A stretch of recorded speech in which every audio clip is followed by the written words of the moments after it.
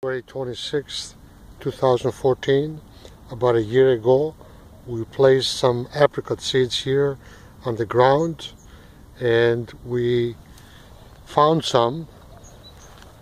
This went through the summer of 2014 without any water in. And here's another one.